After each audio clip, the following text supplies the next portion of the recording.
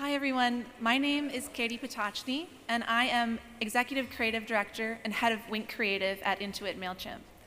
It's my pleasure to be presenting the Campaigner of the Year Awards, presented by Intuit MailChimp to these five outstanding young campaigners. At Intuit MailChimp, a leading email and marketing platform for growing businesses, we're dedicated to empowering our customers to start and grow their businesses with our technology and inspiring content. And as the executive creative director of Wink, MailChimp's in house creative agency, I'm dedicated to our mission of creating culture by inspiring underdog small business marketers around the world. We want our work to shape and define the future of entrepreneurialism, always putting our customers first while continuously looking for new and inventive ways to give them a voice or a platform to showcase their business. We believe that creativity has the power to change behaviors and shape the world. We strive to create a place that fosters inclusivity and allows creativity to thrive, both within and outside our communities. And as a supporter of young people advocating for change in this world, I'm honored to present the Campaigner of the Year Award to these young leaders who are changing the world for the better with advocacy, communications, and marketing. Effective, clear, and persuasive communications are vital in inspiring and facilitating lasting change. And convincing others that a vision can, can and will become a reality can be challenging. But persuasion is imperative to enact impactful social change. And the young leaders recognized here today are driving that social change by putting the power of persuasion and effective communication into action. These five winners have been carefully selected by an expert panel of judges as they are outstanding examples of how young leaders can create tangible impact through advocacy, marketing, or communications. And through their work, they are collectively driving growth for socially responsible businesses, influencing progressive policy change, and inspiring others to take action. Please join me in congratulating all five winners as they come up to accept their awards.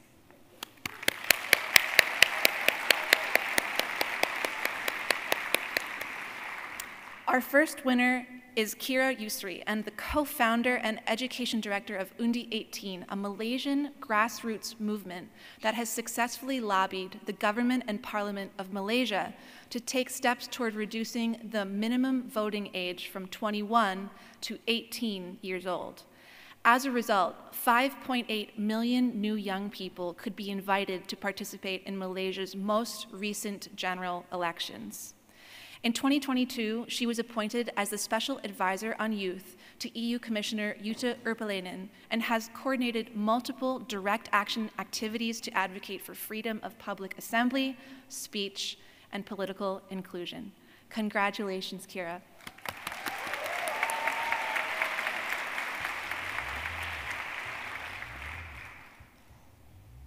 Height problems, right. Thank you so much, Katie. Um, today we celebrate the incredible strides we have made in championing the voices of young people and advocating for human rights. I am honored to be standing before you as a recipient of the Campaigner of the Year Award to represent the efforts of the Undi 18 team and all the young activists who have joined us on this remarkable journey. Democracy is an ever-changing phenomenon, but what's consistent is that democracy, above all, puts power in the hands of the people. I discovered activism when I was a university student studying college final year. And in Malaysia, until very recently, students were not allowed to speak up or comment on issues, risking expulsion and even arrest just to share an opinion. I have faced my fair share of harassment, intimidation, and arrests by the state just for expressing my opinion on what's happening in Malaysia. Our story began with a very simple yet profound belief that youth deserve a voice. My organization, Undi 18, successfully campaigned and implemented the lowering of the voting age. The constitutional amendment added 5.8 million new voters overnight, a 40% increase in the number of voters in Malaysia.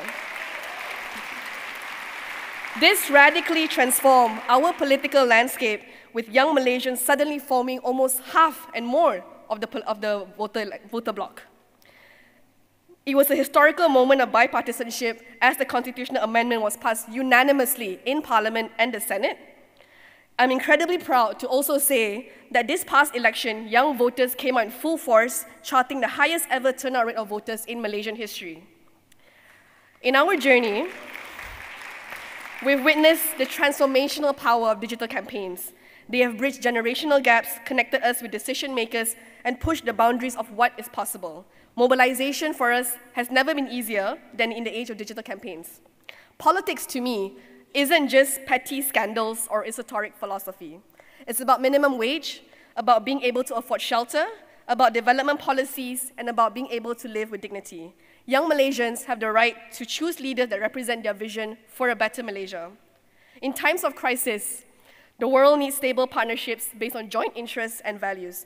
In One Young World, we represent the mission bigger than ourselves, the hopes and aspirations of our villages, cities, schools, and universities. Many of us traveled many hours to get here to be in this platform. And we need to fully utilize this platform we have today for the better of tomorrow. I'd like to just close quickly with a slogan from Undi 18. Tiada perwakilan tanpa penyertaan, translate to no representation without participation. The future of our world lies in inclusivity, diversity, and sustainability. Terima kasih, thank you very much.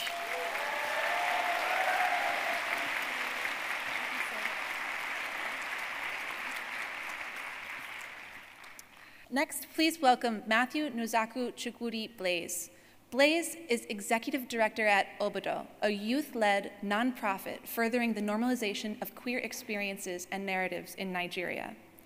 They have spearheaded several campaigns and community driven initiatives, bridging the gap between art, technology, and philanthropy. As a passionate LGBTQ rights activist, they played a key role in the End SARS movement the Queer Lives Matter and End Homophobia in Nigeria campaigns, spotlighting police brutality and igniting a nationwide discourse on systemic change and intersectionality.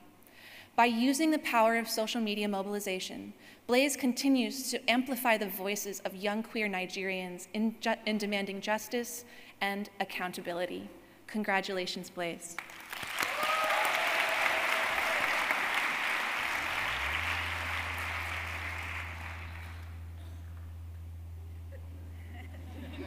Okay. At the age of 19, I found myself still struggling with my sexuality as a gay person in Nigeria. A newspaper had publicly disclosed my identity to the world, and uh, I wasn't prepared. I can't say I wasn't prepared to face the world. I was very strong at that point. However, I wasn't prepared to face my family. What would I say to them? Their words had the power to shatter the strength I had built over the years. My sibling saw the news and he called me, declaring me an embarrassment to the family. I cried throughout that night and drank so much alcohol until I passed out. On August 29, 2003, in Delta State, Nigeria, the police raided a gathering, as they often did, and arrested approximately 69 individuals. They were subsequently paraded in the media and accused of attending a gay marriage.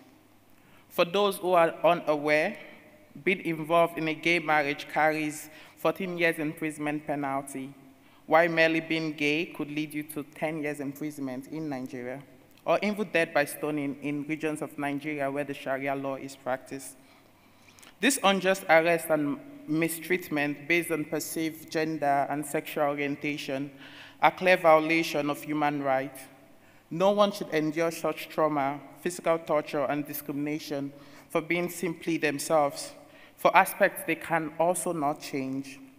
Everyone deserves to contribute their quota to the society, and Obodo is working towards make, making that future possible. This award is dedicated to those who have suffered for this wrongful arrest, state-sponsored torture and abuses, forced outing and eviction, unimaginable powerlessness, and the complete disruption of their lives. In Nigeria, Uganda, Kenya, Cameroon, South Africa, these stories are similar. In the words of queer Nigerian feminist writer Otimeye Adegbe, why should this matter? It should matter because we are all already here, and the only word worth fighting for is a word that includes all of us. I thank everyone for showing me the love that brought me here, and uh, I thank everyone for giving me the support that does not require me to shrink myself. Thank you.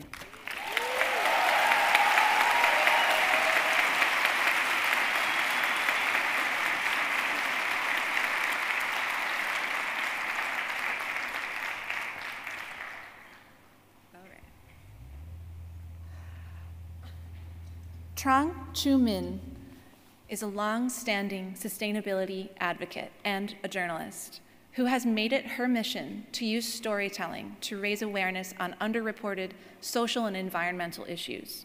She currently leads sustainability, communications, and thought leadership for Singapore's Sovereign Wealth Fund to catalyze greater climate action among companies, governments, and civil society. She successfully developed the first global communications strategy for the Thomson Reuters Foundation's pro bono legal service for NGOs and social enterprises. Alongside this, she has played a key role in multi and varied campaigns, including the campaign that led to the first state law banning child marriage in the US, the opening of the first safe house for LGBTQ plus refugees in the UK, a legal case fighting child sexual abuse in India, and a campaign in partnership with youth nonprofit Bye Bye Plastic Bags that ultimately led to Bali becoming the first Indonesian province to ban plastic bags, straws, and styrofoam. Congratulations, Trong.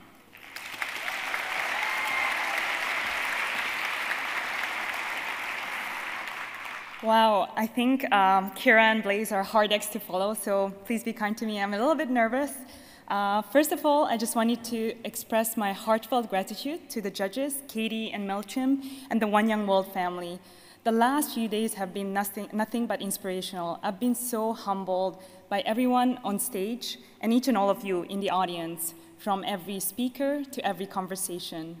As a Vietnamese girl raised in small town Hungary and a lifelong immigrant who spent most of my life experiencing racism and sexism, I've always considered myself an underdog um, so really standing here receiving this award is something I would have never imagined.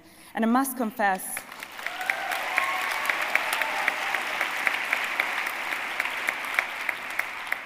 I must confess, I did question whether I was deserving of it. So for anyone in the audience that's grappling with similar insecurities, know that you're not alone. I'm living proof that anything is possible, that everyone can become a change maker. I was never the most talented, vocal, or even confident individuals, but I've always believed in passion, purpose, and patience, that with relentless commitment to making a difference, together with the willingness to go the extra mile, the sky is the limit. But I must also recognize my privileged position. This award is really a timely reminder of the incredible support network that has enabled me to work on so many meaningful campaigns, from child marriage in the US to plastic pollution in Indonesia, and even niche issues such as conversion therapy or acid violence. I, I must admit, it's, it's been a, a journey that has empowered me so much. So I want to use this speech to really make a personal pledge to continue the good fight, especially in three areas that are incredibly dear to heart. One, advocating for robust climate action to ensure a timely but also inclusive transition, especially in the global south. Two, to champion wildlife conservation, especially the protection of some of the most endangered but also most misunderstood predators such as sharks. And three, using the power of sports and the arts to empower people with disabilities to lead a more fulfilling life. The world is fraught with so many challenges, from the climate and biodiversity crisis, the rampant socioeconomic inequalities, and multiple conflicts and humanitarian emergencies. It's easy to get overwhelmed by the multitude of causes that demand our attention and support. But I'm confident that together, with all of you inspiring individuals and change makers, we have the power to drive positive change, regardless of the role we each play. Thank you.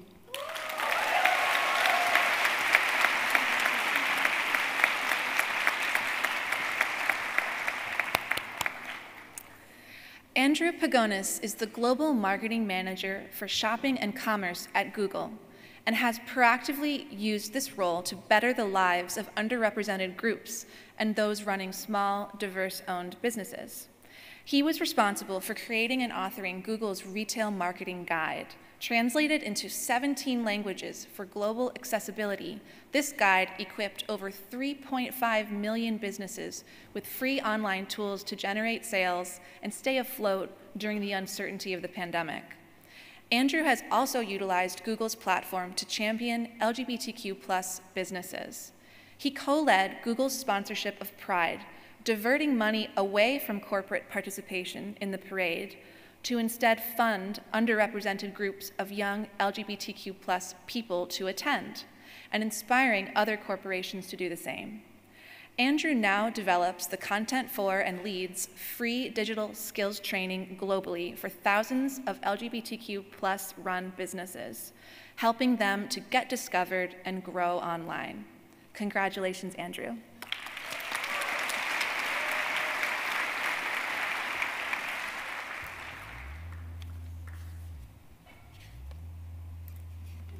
Hi, everyone.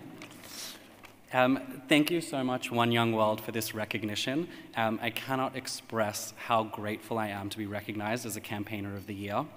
Um, I've followed One Young World for years, uh, and I'm continually inspired by each and every person that is part of this community, uh, whether you're championing change within your organization or you're forging your own path of activism. The proudest achievements that I've had in my career involve channeling the resources and harnessing the platform of the corporations I work for, like Google, uh, to make a meaningful difference to underrepresented groups. It's our responsibility to, as parts of the organization to identify how we can proactively advocate for the change that we want to see. We have the opportunity to utilize the tools, resources, brands, and wide reach of our companies to amplify the impact of our work, and it's our responsibility to understand where those opportunities lie. Through my work in marketing at Google, I was able to strategically pivot the scope of my role to align the needs of the Google business with the needs of the community and underrepresented groups. From writing a marketing guide for small businesses to help them stay afloat during times of uncertainty like COVID, uh, uh, to shifting Google's keynote presentation at Advertising Week APAC to instead talk about the importance of hiring diverse talent for teams, um, to then channeling corporate resources in Pride to instead allow underfunded LGBTQ plus organizations to attend the parade instead of corporate participation. All of these initiatives had very little internal corporate backlash because they were aligned to the values of the business, which helped them get across the line and then help these groups. So I would encourage anyone that is working at the many companies that we have represented in this room uh, to understand how you can affect positive change from within the walls of these conglomerates. Whether that's one, challenging a corporate policy to help make your workplace more accessible and inclusive. Two, influencing the roadmap of your corporation's brands or products and making sure that they are meaningfully driving culture in a positive direction. Or three, advocating for areas of philanthropy within your organization that aligns the values of the organization with the needs of these communities, and really helping understand how you can channel corporate resources into the betterment of society. Thank you again, One Young World. Um, I actually want to dedicate this award to my mother, Yvonne, um, who's here today all the way from Australia. Um, so, thank you. Um, she flew 60 hours just to see me accept this award. So um, thank you all so much. Um, and my mum always taught me to shoot for the moon because even if you don't succeed, you'll land in the stars somewhere. So I would encourage everyone to do the same. Thank you.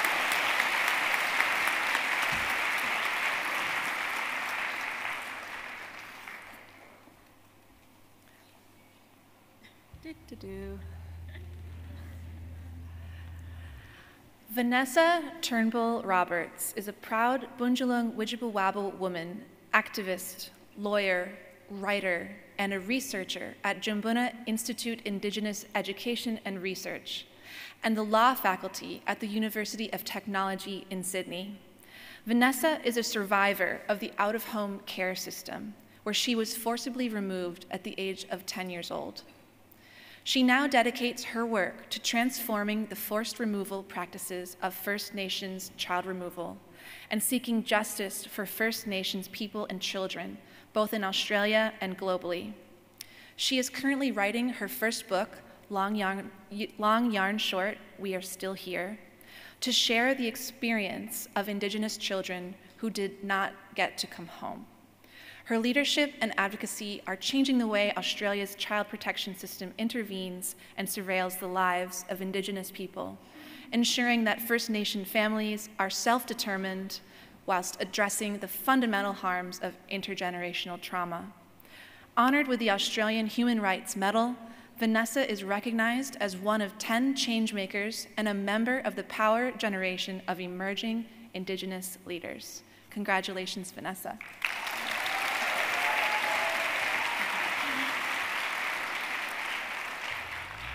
Is really funny in this podium up and down business.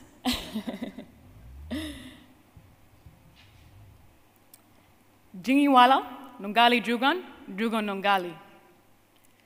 I just spoke in my language, and what I just shared was an acknowledgement of my country and who I am and where my people come from.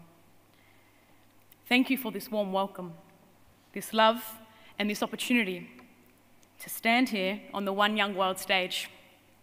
It's an immense privilege that I do not take lightly. Before I begin, I must acknowledge the, tra- the, traditional stories of this land, the history of displacement, and the stories that existed far beyond us being here today. As a visitor on these lands, it is my protocol and a duty to respect this place, the stories that existed prior to us. I would further like to acknowledge the traditional custodians of my land and my country and my people back home. We are the saltwater people. We are the lands, we are the seas, we are the skies and we are still here. I pay homage to my people, our strength and our survival. And I pay homage to the last panel of First Nations people who shared their stories of truth and justice and passion for a better world. My name is Vanessa Turnbull Roberts, and I'm a proud Bundjalung Wujibal Waibal woman. As I said, my people are the saltwater people. We are sovereign in our practice. We practice sovereignty in how we raise our children, in how we connect, in how we are and how we do and how we be. My daughter is actually here today. Thank you. And, and whilst I remain the person who birthed my daughter, my daughter is surrounded by healers, by aunties, by uncles, by knowledge holders, by power and love. My daughter is not just my daughter, but a daughter to many. I would like to thank MailChimp for their unwavering support in backing the work of justice of love, and of community and giving back.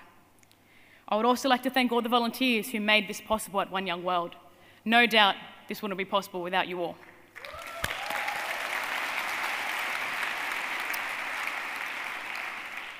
I'm a lawyer and I'm a human rights advocate, where my work is centered around the rights and well-being of First Nations children and young people. In particular, it's about addressing the injustices faced by our people.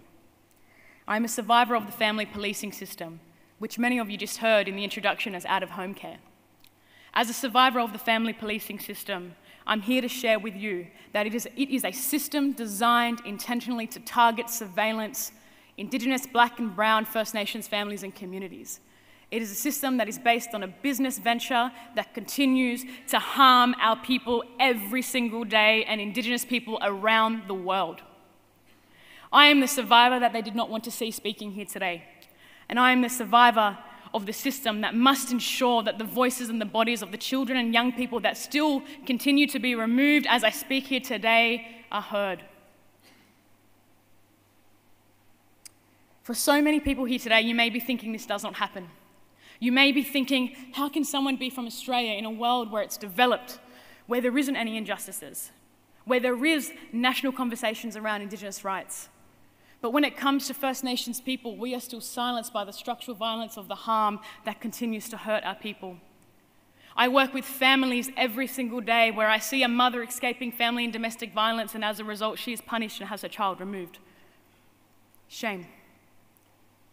I work with families where they escape international waters to try and seek freedom with their children escaping domestic and family violence, and the Hague Convention weaponizes the law against them. I stand here today as a survivor, and I stand here today accepting this award with honour and with acknowledgement of the privilege that sits with this award. When our children are stolen from their homes, from their families and communities, we are impacting intersectionality of climate justice, of sovereignty, of knowledge holders, of our future. Because when we are displaced with a continued history that has not stopped, we can't bring healing to our communities and our people. So, to everybody here today, there is an element of privilege that exists with our presence in being in this room. So, I encourage you all, no matter where you are, no matter what you are doing, please do not be silent. Silence is a privilege. This isn't for me, this is for a movement. This is for children and young people and their little bodies that are terrified right now. I was stolen in the middle of the night by over 12 police officers, my hands put behind my back and told to hug my father one last time. My parents are no longer on this earth anymore, and I dedicate this award to them.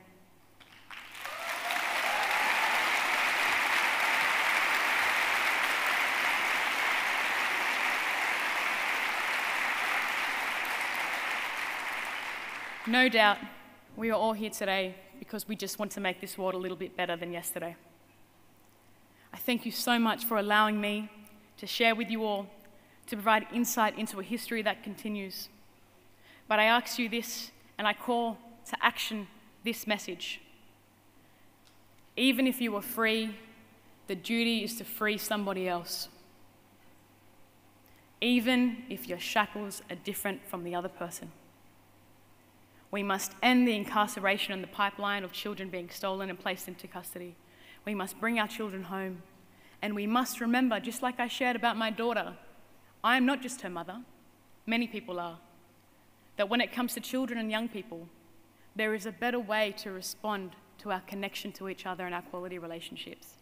Punitive measures don't have to be the answer, but love and community already sits here. So thank you so much. Woo!